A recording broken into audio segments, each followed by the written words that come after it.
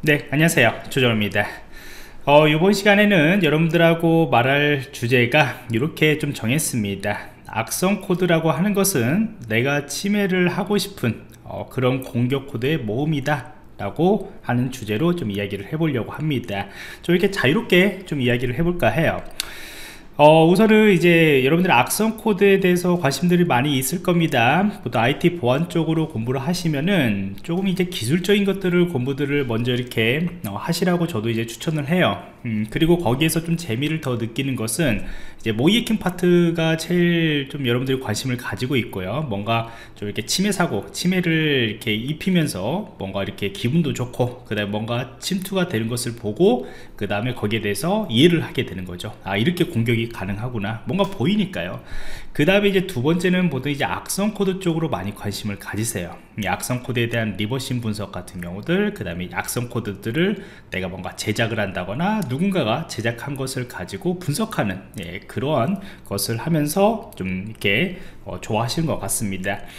근데 제가 몇 번 이렇게 설명을 좀 드렸지만은 이 악성 코드라고 하는 거하고 그 다음에 이제 모이에킹하고 하는 것은 굉장히 큰 연관성이 있다 우리가 모이에킹을 공부를 할 때 그런 기본적인 어떤 웹해킹과 이제 모바일 해킹의 기본 공부들을 여러분들 하실 때는 이 악성 코드에 대해서는 별로 그렇게 생각할 필요는 없습니다. 왜냐하면 이미 공개된 여러 가지 공격 도구들 공격 기법들이 있고요.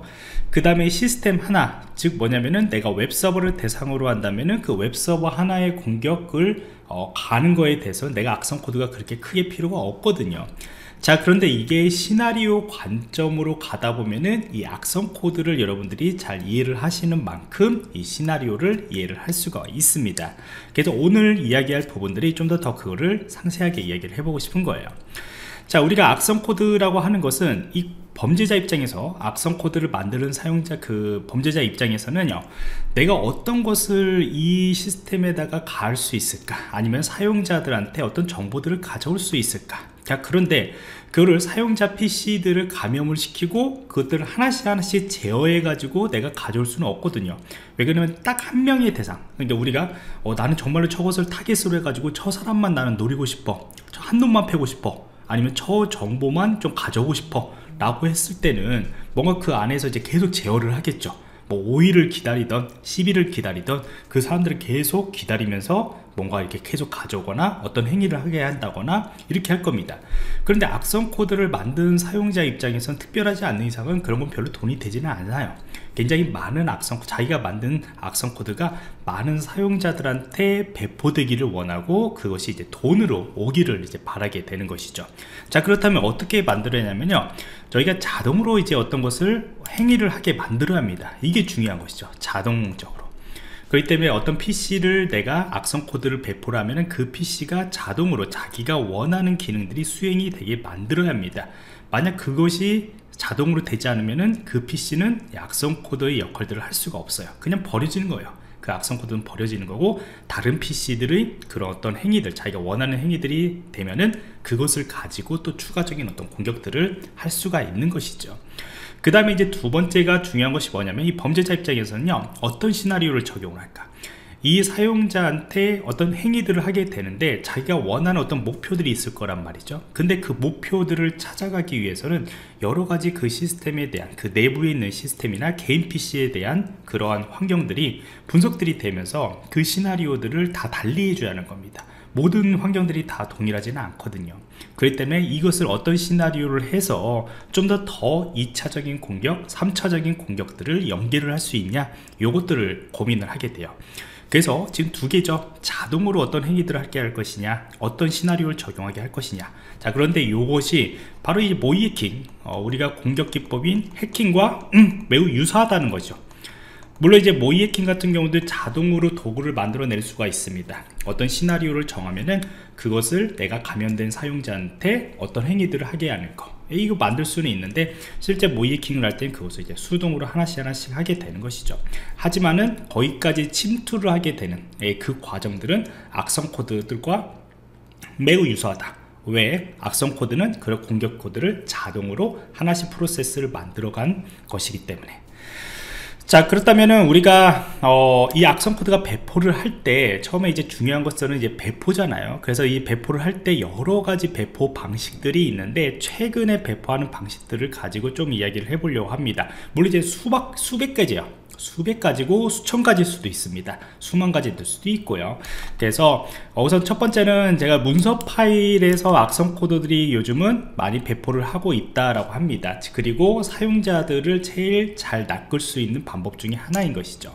그래서 여러분들이 이제 메일 서비스를 뭐 다 사용을 하잖아요. 근데 메일 서버 네이버나 뭐 다음이나 어떤 사용을 하다 보면은 여러 가지 문서 파일들을 막 뭔가 뭐 중국어로 올 수도 있고 미국어로 올 수도 있고 막 옵니다 그러면 뭐 HTML로 오는 경우도 있고요. 근데 보통 HTML로 오는 경우 같은 경우는 피싱 사이트 그 다음에 어떤 DOC 파일 같은 거나 Excel 파일들 그 다음에 PDF 파일 같은 건데 이게 출처가 분명하지 않아. 그리고 이상한 말투야. 이게 뭔가 번역 말투야. 그렇게 한다면 거의 다 문서 파일 형태의 악성 코드라고 보시면 됩니다.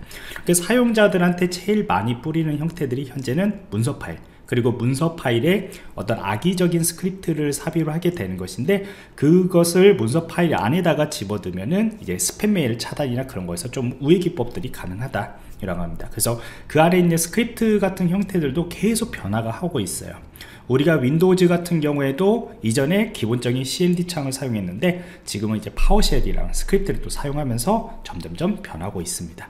제가 기술적인 용어들을 말할 수밖에 없어요. 이걸 최대한 쉽게 이야기를 해도 불구하고 기술적인 것들은 말할 수밖에 없기 때문에 나중에 궁금하시면 예, 댓글을 달아주시면 돼요. 자 그래서 우리가 문서 파일들을 열람을 했을 때 이것을 수동으로 문서 파일 아, 열었네? 그 다음에 그거를 어떤 사용자가 열었으니까 내가 이제부터 공격할게 라고 할 수는 없죠 모의해킹 할 때는 그게 할 수도 있어요. 그렇게 할 수는 있지만은 악성 코드라는 것은 많이 뿌리고 많이 감염을 시켜야겠죠. 그래서 자동으로 이것들이 스크립트가 실행이 되는 거죠. 이게 바로 이제 스크립트가 실행이 되는 것이고요. 이 스크립트가 실행이 되면서 특정 URL에 이제 접속을 합니다. 이 URL에 접속한다는 것은 악성 코드가 포함된 URL 그 악성 코드 URL을 있는 거에서 악성 코드들을 다운로드 받습니다. 그러면 이 악성 코드들은 어떤 형태냐? 거의 다 EXE 파일이겠죠? 왜 그러냐면 Windows 사용자들이 많이 있잖아요. 여러분들 주위에 Mac 사용자 물론 이제 Mac 사용자들이 점점점 증가하고 있어요. 그리고 MacBook과 관련된 이게 Mac이죠? Mac OS하고 관련된 그런 악성 코드들도 예, 좀 나오고 있습니다. 점점 점점 증가를 하고 있겠지만은 그래도 개인 PC들 그리고 모바일 쪽에서는 보통 메일을 통해 가지고 APK 파일 즉 안드로이드 악성 코드 같은 거는 그렇게 많이 오지는 않습니다. 거의 개인 PC 대상으로 다운로드를 받은데 이것도 만약 이 악성 코드들이 잘 만들었다 잘 만들었다면은 분리를 시킵니다. 요거는 정말로 그 악성 코더들의 코딩 능력 그 다음에 어떤 사람들을 목표로 할 것인가의 그 범위에 따라서 좀 다르게 되는 것인데 그 스크립트에 이제 접속을 할 때도 이걸 분리를 시켜요 이 사용자가 모바일로 열었는가? Windows PC로 열었는가? Mac OS로 열었는가? 거기에 따라서 이 EXE 파일이나 그런 것들도 변화가 되겠죠. 그래서 최종적으로 악성 코드를 어떻게 아무튼 실행할 수가 있냐라고 하는 것들을 이제 보게 되는 거고요. 그 다음에 두 번째는 최근에 이제 데이터베이스나 그쪽 대상으로 많이 공격들을 합니다. 즉 데이터베이스 뿐만 아니고 어, 여러분들이 실무에서는 이제 인프라들을 구축을 하다 보면 개발자들이 사용하는 것들도 있고 뭐 운영자들이 사용하는 것이 있고 그 다음에 뭐 오픈 도구로 사용하는 것도 있고 그 다음에 상용 버전으로 사용하는 것도 있고 여러 가지가 있죠. 그런데 그런 데이터베이스 이게 뭐 MySQL이나 MongoDB 같은 경우나 PostgreSQL 같은 거나 이런 것들을 막 도입을 하다 보니까 어떤 현상이 일어나면은 내가 보안을 신경 쓰기도 전에 이게 도입이 되는 거죠 그러니까 IT 변화가 굉장히 이제 빠르다 보니까 뭐 이런 것들 뭐 우리 어, AWS에다가 뭐 이렇게 서비스를 올려가지고 하는 것들도 요즘 최근에 많이 하고 있잖아요. 그 이후에 Kubernetes 환경, 뭐 Docker 환경 이런 여러 가지들 그 다음에 그 위에 올라가는 웹 어플리케이션도 굉장히 많이 있잖아요. 근데 그런 것들을 구현하기 위해서는 뭔가 프로그램들을 분명히 서버에다가 설치를 해줘야 돼요. 근데 그 프로그램들을 설치를 하다 보면은 이제 보안적인 기본적인 환경 설정에 관련된 부분들이 이제 문제가 생기게 됩니다. 그러면 이제 환경 설정이라는 것은 뭐냐면은 내가 관리자 페이지에서 관리자 권한을 그냥 root 권한을 기본적으로 설정을 했다거나 뭐 그런 것들은 다 이제 공개가 되거든요. 그런 현상들 환경 설정 그 다음에 어떤 계정 없이 바로 접근할 수 있는 거 뭐 이런 부분 같은 경우는 앞에 영상에서 제가 뭐 Shodan 같은 경우나 오픈 검색 서비스 그런 데서 공개되는 것들 어, 환경들을 좀 봤었죠? 예, 이런 것들을 통해서 이제 이 악성 코드들이 분석을 미리 해요. 그래서 내가 MySQL의 이 사용자가 만약 사용한다 라고 한다면은 그 MySQL에 관련된 환경 설정들을 이용을 해서 미흡하게 설정된 환경 설정들을 이용을 해서 그 안에다가 이제 악성 코드를 내가 뿌릴 수 있을까? 라고 하는 겁니다. 요거의 대표적인 사례 최근에 좀 나왔습니다. 최근도 아니고 그럼 어, 몇 시간 전에 나왔어요. 네, 몇 시간 전에 나왔던 그런 사례이고요. 어, 여기 보시면은 요거는 뭐냐면은 최근에 이제 클라우드 이제 클라우드 위에 어, 금방 얘기했듯이 어떤 Kubernetes 환경 그 다음에 그 위에 컨테이너라고 하는 우리가 Docker 컨테이너 가상 환경들을 이렇게 어, 관리를 합니다. 어, 최근에 사용하고 있는 그런 실무 인프라 형태라고 보시면 돼요. 그런데 이 아래쪽에 여러분들 한번 읽어보시고요. URL은 공유를 할 테니까 이것이 이제 그 흐름인 것이죠 자 공격자가 공격자가 이런 Kubernetes를 사용하고 있다라는 그런 클러스터의 그런 환경 설정 미흡하게 된 환경 설정들을 이용을 해서요. 그 안에 있는 노드들에 대해서 공격들을 하고 그 안에 발스 그 안에서 이제 관리되고 있던 그런 컨테이너 환경들을 다 이렇게 자동으로 이제 공격을 하게 되는 것이죠. 그러면 이제 컨테이너가 만약 이제 100개다 아무튼 여기 부분만 장악을 하게 되면은 어차피 이 아래에 있는 것들은 제어가 굉장히 쉬워지거든요 이 앞에 부분은 굉장히 중요한 것이죠. 이 Kubernetes 이 클러스터 환경에 접속할 수 있는 이 부분이 되게 중요한데 이것을 이제 공격을 진행을 했던 거예요. 이 환경 설정 미흡입니다. 기본적인 것들이요. 그래서 이 안에 있는 여러 가지 컨테이너들 그 컨테이너들은 100개일 수도 있고 200개일 수도 있고 모릅니다. 그래서 그거를 장악을 하게 되고 그것을 이제 악성 서버들하고 연결을 하면서 추가적인 공격들을 이제 진행을 하게 되는 것이죠. 그래서 이런 형태들로 하기 위해서는 물론 이제 공격자들이 서브 그 수동으로 하나씩 하나씩 들어갈 수도 있겠지만 시간이 많이 걸리죠. 우리가 원하는 목표에 도달을 하면은 또 원하는 데이터들 그런 것들을 빨리빨리 가져와야 돼요. 빨리빨리 가져와야 하기 때문에 그거를 이제 자동으로 이제 만드는 예, 그런 케이스라 보시면 됩니다. 그것이 바로 이제 악성 코드인 거죠 우리가 말하는 그 악성 코드 형태. 어, 그거는 이제 Kubernetes 환경 같은 경우에는 보통 이제 리눅스 shell 형태의 그런 악성 코드를 사용을 합니다. 어, 리눅스 binary 형태로 또 사용할 때가 있고요. 그는 이제 프로그램의 능력이라고 얘기했잖아요. 그 범죄자가 그 악성 코드들의 프로그램 능력이다 라고 보시면 됩니다. 그 다음에 이제 웹브라우저. 어, 이것은 우리가 이제 웹브라우저 형태 같은 경우에도 여러 가지 악성 코드 배포에서 어, 저번에 한번 비율을 봤더니 한 20%에서 30% 정도 를 차지한다고 얘기를 하더라고요. 이게 어떤 거냐면은 우리가 브라우저를 이용해서 특정한 URL에 이제 접근을 해요. 그러면 그 특정한 URL에 접근했을 때 어, 물론 이제 뒤에서 보여주는 어, 사례 같은 경우에는 ActiveX 같은 거를 설치하라고 이야기를 합니다. 음, 그런데 그거를 설치했을 때 악성 코드가 EX 파일들이 실행되는 그런 경우들도 있겠지만은 어, 특정 취약점들을 이용해서 자동으로 배포하는 형태들이 많이 있습니다. 음, 한번 보도록 할게요. 요거는 이제 국내 유명한 엔키라고 하는 어, 회사입니다. 어, 굉장히 유명합니다. 이러한 어, 취약점 분석 같은 경우 이런 팀들이 있는데 어, 여기에서도 이제 Internet Explorer zero-day 분석입니다. 이것도 몇 시간 전에 나왔어요. 지금 영상 기준으로 몇 시간 전에 나온 겁니다. 그래서 요거는 뭐냐면은 이 MHT, MHT라고 하는 확장자 같은 경우는 마이크로소프트의 그런 스크립트 형태 라고 보시면 됩니다. 그래서 HTML하고 똑같은 형태 보, 시면 돼요.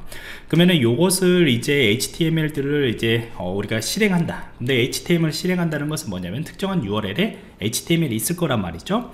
그래서 요거의 스크립트가 이제 실행이 되면은 이러한 스, 이러한 그 뭐 ActiveX처럼 내려와서 실행을 하게 만듭니다. 근데 이게 문제가 뭐냐면은 우리가 어, Internet Explorer가 이제 보안이 되어 있으면요 이렇게 악의적으로 사용하는 어떤 명령어 그 안에 들어가는 명령어에 대해서 차단을 합니다. 아 실행이 안 되게 돼 있어요. 그 다음에 이제 신뢰되지 않은 것이기 때문에 또 실행들을 차단을 하는 경우도 있고요. 자 그런데 이거는 패치가 아직 안 된 상태입니다 현재 시점에서도 패치가 안 됐어요. 그래서 우리는 요런들을 zero-day라고 이야기를 하게 되는 것이죠 그래서 공격자들은 이러한 스크립트를 막 배포를 합니다. 아니면은 이제 특정 연구원들한테 연구원들이란 것은 뭐냐면 한국이면은 한국의 특정 그런 보안 연구원들이나 그런 사람들한테 또 배포를 하게 되는 것이고요. 그러면 이제 감염이 되면은 거기에 대해서 이제 중요한 정보들을 탈취한다거나 그런 목표들을 가지고 있겠죠. 보통 최근에 이제 보안 연구원 대상으로도 공격하는 사례들이 많이 늘어나고 있어요. 왜냐면 보안 연구원들이 가지고 있는 그런 공격 코드 같은 경우나 아니면은 정말로 critical한 어떤 정보들을 탈 취하기 목적이다라고 보시면 됩니다. 자 그래서 이 세 번째 이 세개이 세 개들을 이야기한 것은 그냥 제가 이야기했듯이 대표적인 거 정말로 대표적인 사례들을 제가 이야기를 한 것이고요. 요걸 이제 어떻게 배포를 하냐 뭐 자동으로 사용자들이 어떤 특정한 어, 문서 파일 그 다음에 데이터베이스를 사용했을 때 그 다음 브라우저로 그 HTML을 열었을 때의 그런 상황들을 제가 설명을 드린 것이고요. 자 그러면 이제 배포가 됐어요 그러면 공격자들이 좀 더 더 자동으로 어떤 목표를 딱 정해놓고 그것을 이제 가져와야 하는 겁니다. 가져올 수가 있고 시스템을 정말로 그냥 장악하는 목적으로도 가져올 수가 있고요. 그래서 어떤 것들 형태로 이제 최근에 이제 많이 어, 발생을 하냐. 우선 첫 번째는 요거는 이전부터 많이 발생한 건데 지금도 비율적으로 봤을 때는 많은 것을 차지를 합니다. 사용자들의 PC의 중요한 데이터이죠. 우리가 PC 안에는 여러 가지 데이터들을 중요한 데이터들이 있습니다. 문서 파일과 관련된 게 그 회사에 관련된 문서 파일들도 있는 것이고요. 요거는 이제 어, 악성 코드들이 어, 이 악성 코드가 감염이 되고 난 뒤에 그 안에 있는 DOC 파일 뭐 PPT 파일 뭐 관련된 것들을 예, 서치를 하게 되는 거예요. 자동으로 이제 서치를 해가지고요. 그것들을 묶어가지고 또 zip 파일로 아주 이쁘게 묶습니다. 그 다음에 이제 가져가는 거죠. 그 가져가는 동안에 이제 사용자들이 알아챌 수는 있어요. 알아챌 수는 있겠지만은 어, 모르는 경우들이 많이 있죠. 왜 그러면 나는 업무를 하고 있으니까 예, 이것들이 zip 파일로 묶였는지 그 다음에 뭘로 통해 가지고 웹하드로 넘어가는 것들이 보이는지 악성 코드 웹하드죠. 그쪽으로 넘어가는지는 어, 쉽게 판단할 수는 없습니다. 그렇기 때문에 우리가 보안 장비라는 것이 있는 거예요. 뭐 DLP나 DRM, 그 다음 개인정보 검색 솔루션 이런 것들이 바로 여러분들의 그런 저장되어 있는 어, 개인정보들을 보호하기 위한 목적으로 있는 것이죠. 자 그래서 사용자의 PC에 대한 중요한 데이터들을 내가 가져올 수 있는가 그 다음에 PC에는 뭐 공인인증서나 그런 것들이 있죠. 근데 최근에는 이제 PC 쪽보다는 모바일 쪽의 공인인증서 같은 경우나 아니면 사진 같은 거 이런 게 있고 PC 같은 경우에는 물론 이제 어, 클라우드 서비스하고 드라이브가 연결되어 있으면 그것도 이제 가져가겠지만은 보통 모바일 대상으로 많이 이제 전화번호나 그런 거이기 때문에 거기를 타겟으로 많이 하게 되는 거고 PC에서는 금방 이야기했듯이 어떤 중요한 문서들 네, 이런 것들이죠. 근데 이제 중요한 문서라고 했을 때는 이제 당연히 이제 랜섬웨어를 또 걸어서 뭔가 돈을 더 확보하고 싶어 하는 것이죠. 그래서 중요한 데이터를 가져가고 난 뒤에 랜섬웨어를 감염시키는 경우들도 있고요. 근데 거의 대부분 그냥 랜섬웨어부터 감염시키는 사례들이 어, 많이 발생을 하고 있죠 있죠. 어, 예전부터 계속 지금 현재 증가를 하고 있는데 어, 작년에는 좀 줄었다고 이야기를 하더라고요. 통계를 보니까 랜섬웨어 그돈 어, 게 우리가 어, 이게 랜섬웨어를 뿌리는 악성 코드들의 뭐 이렇게 증가 뭐 이런 걸 피해들을 이렇게 보면은 조금 줄었다고 이야기를 합니다. 어, 보안적으로 저잘돼 있어 가지고 그럴 수도 있는 것이고요. 아니면 저 활동들을 좀좀안해 가지고 그럴 수도 있는 건데 아무튼 지금도 비트코인이나 그런 것들은 굉장히 지금 가격이 오늘부로 한 4천만 원 정도 됩니다. 그렇기 때문에 앞으로도 비트코인이나 아니면은 뭐 여러 가지 그런 가상화폐들을 노리는 예, 그런 랜섬웨어들은 앞으로 많이 발생을 할 거다. 계속 지속될 거다. 이런 랜섬웨어 형태들이 이제 어, PC를 대상으로 할 것이냐 모바일 대상으로 할 것이냐 여러분들이 사용하고 있는 그런 스마트폰 스마트 홈이나 그런 쪽 대상으로 또 기기를 할 것이냐 점점 점점 이제 사용자들이 많이 사용하는 곳에다가 대상으로 진행을 하게 되겠죠. 그런데 이 랜섬웨어를 가져가던 사용자의 PC의 중요한 데이터를 가져가던 요거를 수동으로 하진 않잖아요. 다 자동으로 하게 되는 거죠. 그래서 랜섬웨어 같은 경우에도 여러 가지 형태들이 있습니다. 예, 문서 파일들을 우선 바꿔요 예, 문서 파일들을 랜섬웨어 해가지고 못 열게 확장자들을 다 바꾸고 그 안에 이제 암호를 하게 되는 거고 그 다음에 이제 바탕화면에다가 이렇게 경고문을 때리는 경우죠. 경고문을 주는 경우들도 있고요 아니면은 이제 어떤 특정한 텍스트 파일들을 띄워넣어요 계속 시작할 때마다 띄워놓는 경우들도 있고 아니면 시작 페이지를 이제 자기네들 악성 서버 쪽에다가 바꿔놓는 거죠. 그래서 경고를 해서 몇 분 남았으니까 던져라 뭐 이렇게 하는 경우들도 있고요. 그래서 여러 가지 형태로 만드는 것은 아까도 이야기했듯이 악성 코드에 악성 코드를 만드는 사용자의 그 시나리오 그런 센스 같은 거나 능력 같은 경우나 이런 것들이 이제 되는 것이죠.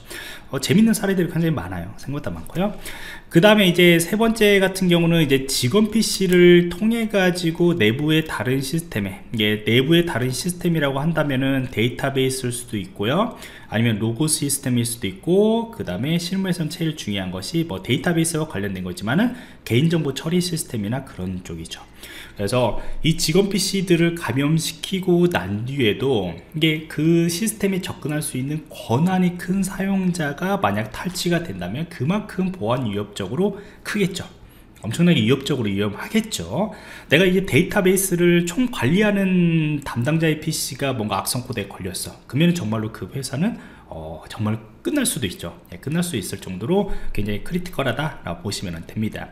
그래서 요거를 PC들을 통해 가지고 내부 시스템에 딱 어, 장악을 하면은 어, 공격자들 같은 경우는 이 PC 사용자들이 로그인하는 그런 정보들을 이제 수집을 합니다 실무가 생각보다 이렇게 복잡합니다. 뭐 접근 통제 솔루션도 있고 여러 가지가 있는데 그것들을 접근하는 그 동안에 이제 여러 가지 자동 도구들을 거기다 실행을 시키면서 모니터링을 하게 되는 거죠. 그래서 요 사용자가 어떤 거를 입력을 했는가 뭐 keylogging을 할 수도 있고요. 아이디하고 패스워드를 어, 탈취하는데 그런 목적들을 가지고 이제 자동화를 해 놓는 것이죠 그래서 그런 모니터링 하다가 이제 만약 이게 로그인이 정상적으로 됐어요. 그러면은 화면들을 캡처해서 가져가는 경우들도 있고요. 아니면 로그 파일 직접적으로 데이터베이스에 접속해서 데이터베이스에 있는 정보들을 가져가는 경우들도 있습니다. 다 윈도우즈 API를 사용을 합니다. 윈도우즈 프로그램하고 거의 뭐 거의가 아니고 똑같다라고 생각하시면 돼요. 그래서 우리가 윈도우즈 프로그램을 아마 여러분들 공부하신 분 같은 경우에는 화면 캡처 프로그램들을 이렇게 만들잖아요. 그럼 이게 정상적인 프로그램이잖아요. 근데 이제 화면 캡처한 것을 어 이제 악성 서버 쪽에다가 보내는 행위까지 하는 걸 자동화를 만들었다. 그게 바로 악성 코드인 것이죠. 모의해킹 할 때도 시나리오 이런 것들을 적용을 할 수가 있어요. 음, 동일하게 적용을 해서 내가 보안 담당자의 어떤 정보들을 탈취하고 난 뒤에 그 보안 담당자의 중요한 그러한 비밀번호 패스워드 정보 같은 거 중요한 문서들 그 다음에 화면 캡처 정보들까지 내가 가져올 수 있냐 라고 하는 것을 자동으로 이제 만들게 되는 것이죠 그 다음에 이제 네 번째 사례 같은 경우에는 이제 원격으로 접속적인 RDP 요것도 최근에 많이 발생을 하고 있습니다. 어, RDP를 이용한 디도스 공격 그러니까 뭐 ransom DDoS라고 이야기를 하는데 이런 형태들도 많이 좀 발생을 하고 있고요. 그 다음에 어, 그 RDP 서비스를 사용할 때 보통 이제 외부 업체들이죠. 외부 업체의 개인 PC들을 장악을 하는데 그 외부 업체가 어, 계속 상주하는 것이 아니고 외부에 정말 있다가 고객사가 요청을 하면은 고객의 장비 그 장비들 예, 장비들을 유지 보수하기 위해서 접속을 하게 되는 거죠. 근데 그 접속을 하는 과정에서 이제 아이디하고 패스워드를 몰라도 됩니다. 왜냐면 현재 어, 고객 그 외부 업체 외부 업체 PC를 장악한 상태이기 때문에 화면들을 계속 이렇게 보고 있어요. 그렇게 보고 있다가 접속을 하고 중요한 시스템에 딱 접속하는 순간 그때부터 이제 제어를 하기 시작하는 것이죠 뭐 점심을 먹으러 간 사이나 저녁에 퇴근해서 PC를 끄지 않은 상태에서 간 사이에 이제 그 안에 있는 내부 시스템들 고객에 있는 내부 시스템들을 침투를 시도를 합니다. 그래서 어느 정도 이제 환경 분석들을 하게 되면은 거기 안에다가 이제 자동 자기가 가지고 있던 그런 자동 분석 그 스크립트 같은 경우나 공격 도구들을 이제 설치를 해 가지고요. 내부에 따른 뭐 SSH 같은 경우나 Telnet 서비스 같은 경우나 이런 데다가 접속을 이제 무작위로 막 시도를 해서 이제 뚫리고 뚫리고 뚫리면서 이제 가게 되는 것이죠. 그래서 이것도 자동 도구들을 사용을 한다. 이렇게 보시면 됩니다. 자 그래서 좀 길어졌는데 말이 길어졌는데 자 여기까지 제가 오늘 이야기한 것은 뭐냐면은 여러분들이 악성 코드를 어, 모이킹을 어, 공부를 하면서도 악성 코드는 같이 공부를 해야 한다. 이건 항상 좀 강조를 하고 있고요. 그 다음에 악성 코드에 대해서 너무나 어렵게 생각하지는 마시기 바랍니다. 악성 코드라고 하는 것은 어, 우리가 사용하고 있는 그런 일반적으로 사용하는 것그 다음에 어떤 시스템에 접속하는 것 이런 여러 가지들의 그런 행위들을 자동으로 묶어 놓은 그런 기능의 어떤 프로그램이라고 보시면 됩니다. 그걸 악의적으로 사용하지 않으면 되는 거죠 우리가요. 그래서 공부를 할 때는 악성 코드들을 예, 어느 정도 많이 수집을 하셔서 그것들을 한번 이렇게 행위들을 분석을 해보고 아니면 누군가가 분석한 것들을 블로그를 보시면서 여러분들 공부를 하시면은 아마 큰 도움이 되실 거라고 생각을 합니다. 자 그래서 오늘은 여기까지 예, 설명을 드리도록 할게요